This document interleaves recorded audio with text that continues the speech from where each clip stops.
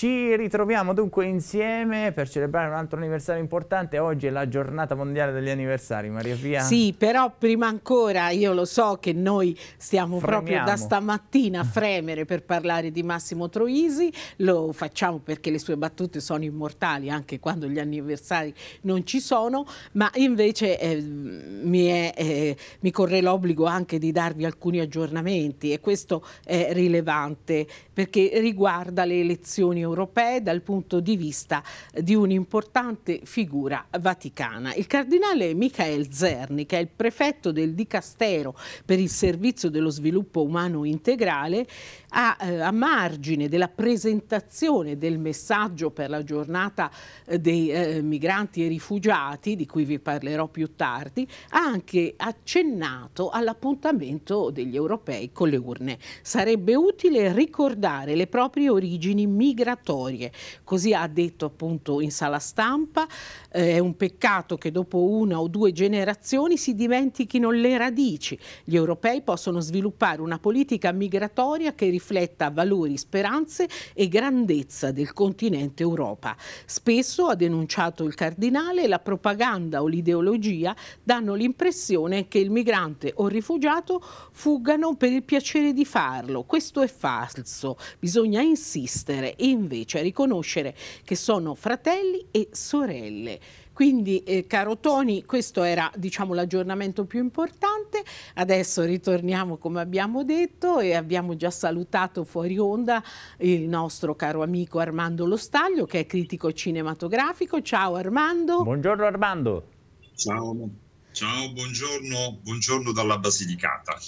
Ciao. E dunque eh, oggi ricordiamo un addio davvero precoce perché aveva soltanto poco più di 40 anni Massimo Troisi quando morì 30 anni fa. Ovviamente ci sarà un, un profluvio di occasioni per tutti voi di vedere i suoi film, ma noi ci vogliamo concentrare, grazie anche a un'intervista di cui vi parlo tra un attimo, sugli inizi di questo grande artista, grande personaggio che tra tra l'altro non ha cambiato nome, vi faccio notare, il che non è così scontato nel mondo appunto dell'arte e del cinema. Perché ci concentriamo sugli inizi?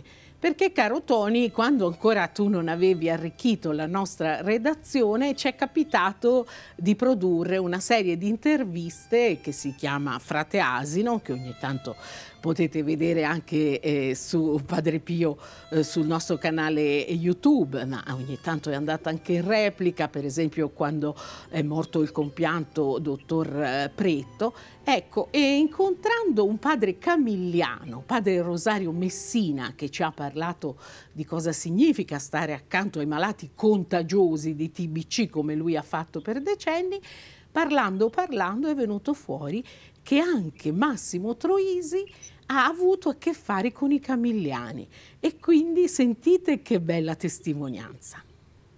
A proposito di malati, però uno speciale ne avete conosciuto proprio a San Giorgio a Cremano, il suo paese natio, Massimo Troisi, sì. che è morto a 40 anni, poco più, perché aveva un vizio cardiaco. Era molto amico dei camigliani, di noi, di me e soprattutto anche di un napoletano padre Busiello, veniva volentieri e faceva molti teatri, lui era attore, gli piaceva, teatri comici in dialetto napoletano, noi avevamo una bella sala.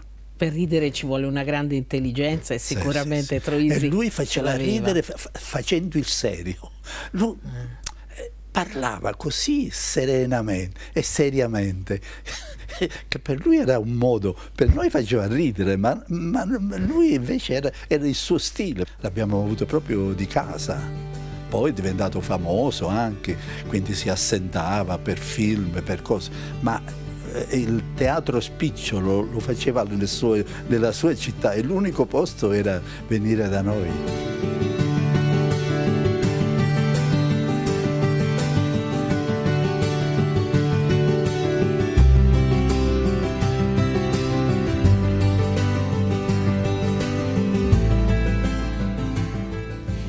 Ecco qua dunque questo bel ricordo. Noi eh, non abbiamo avuto il privilegio di conoscere Massimo Troisi di persona, però Armando è come se tutti gli italiani lo conoscessero benissimo, vero?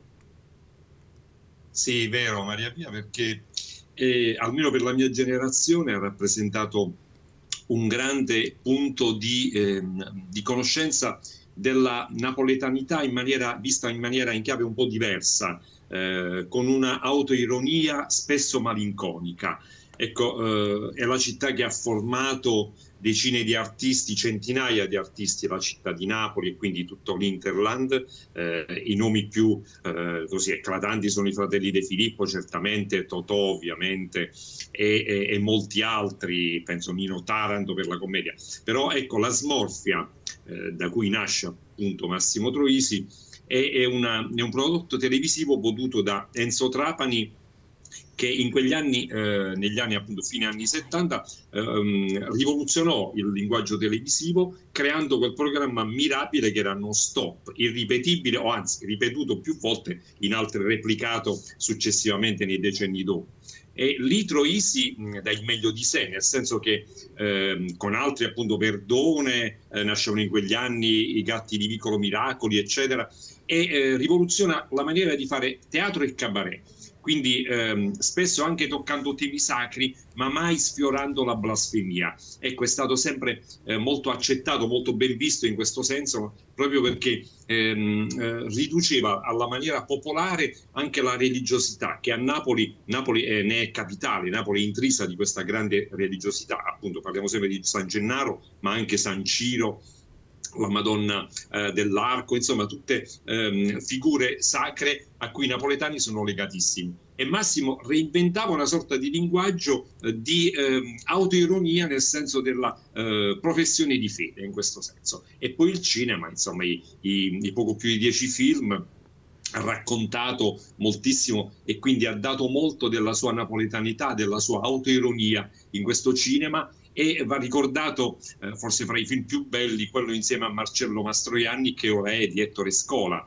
Ieri abbiamo celebrato eh, alla, alla, Casa del Cinema di Roma i cento anni della nascita di Marcello Mastroianni. Quindi ah sì, una, film, diciamo, un'altra figura eccezionale sì. del nostro cinema, sì. del nostro immaginario. Ma poiché tu avevi sì. nominato la smorfia, noi abbiamo anche ancora qualche attimo e qualche eh, fotografia da vedere eh, proprio degli inizi e infatti eccoli qua eh, Pippo Baudo ovviamente come sempre si può sì. dire che ha lanciato tutta una serie poi di personaggi tra i quali fuori classe secondo te ecco vediamo Enzo De Caro e naturalmente Lello Arena che quando parlano di Troisi ancora veramente si commuovono io anche di recente sono sì. andata a scoprire insomma queste preziose testimonianze umane prima di tutto, prima che artistiche, per non parlare proprio eh, delle eh, tante persone, anche le tante donne che hanno amato Massimo Troisi a vario titolo.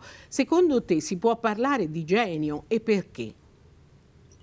Si può parlare sicuramente di genio. Dicevo prima, ha rivoluzionato il linguaggio della, del cabaret e quindi traslato in televisione e a sua volta poi riportato sul grande schermo. È un genio perché, ehm, come diceva la testimonianza di prima, con il, il padre con cui avete, hai fatto l'intervista. Padre Rosario eh, Messina, che era, saluto. Sì, era, per lui era spontaneo, eh, veniva tutto in maniera spontanea, come sono spontanei e sanguigni napoletani, cioè Napoli, le vie di Napoli, andare per le vie di Napoli è come andare in un teatro a cielo aperto, eh, ovunque si sentono battute, penso alle battute per esempio alla vincita dello scudetto che il, lo striscione davanti al cimitero Guagliù che vi siete persi. Cioè, voglio dire, nasce proprio, è intriso questo spirito, senso di napoletanità che è ormai noto nel mondo è, ed esportato nel mondo. E Troisi l'ha incarnato in una maniera nuova, diversa, alternativa, in una maniera, dicevo prima, autoironica, ma del tutto malinconica. La malinconia nei suoi occhi che appunto riflettevano la malattia che lo stava affliggendo, la stessa che poi, coinvolse anche il suo amico fraterno Pino Daniele. Quindi questo connubio straordinario, questa città che ha dato i Natali a grandissimi personaggi della musica, della cultura, appunto del teatro e del cinema.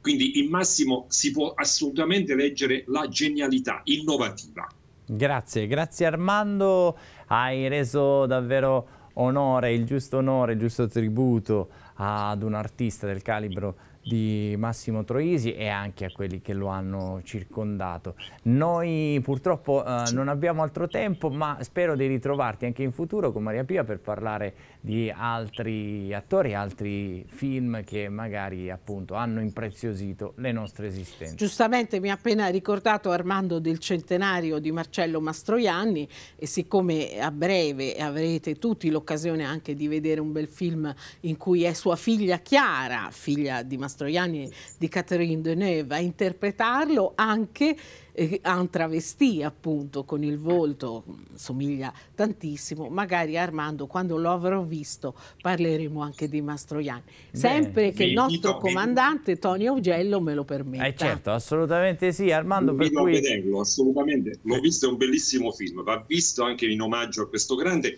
centenari per centenari, mi piace farvi vedere questa foto insieme a un altro centenario che è Walter Chiari, quindi Persona grandi personaggi, questa la nostra uh, cultura cinematografica televisiva, di grande televisione e di teatro ha, uh, ha avuto. Quindi eh, questa foto mi piace, è l'emblema del nostro CINIT quest'anno, dell'abbonamento CINIT Cineforum Italiano che creiamo. Quindi due centenari illustri. Quindi viva Marcello, viva Massimo e viva anche Walter Chiari. Grazie. Bene, grazie, grazie Armando e viva grazie anche Armando. Ci ritroviamo prestissimo. Grazie, grazie. Grazie, grazie per aver condiviso del tempo con noi.